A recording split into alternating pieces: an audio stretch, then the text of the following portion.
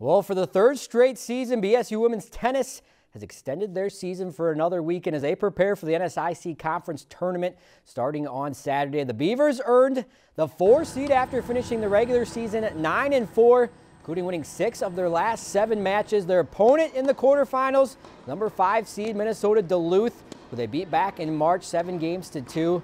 So their approach for the first round matchup pretty similar to what they worked on earlier this season. I think we need to be really aggressive right out the, right out of the bat because they're a really aggressive team. So if we can put the pressure on them too, then that'll work out well for us. We've trained the whole season for this part of the year, so I think we just need to capitalize on that. This is a really exciting opportunity for um, Bemidji State tennis to follow up again in the conference tournament. Like you said, the being able to play in it three straight years in a row is a good accomplishment, and we definitely want to keep it rolling and keep breaking records.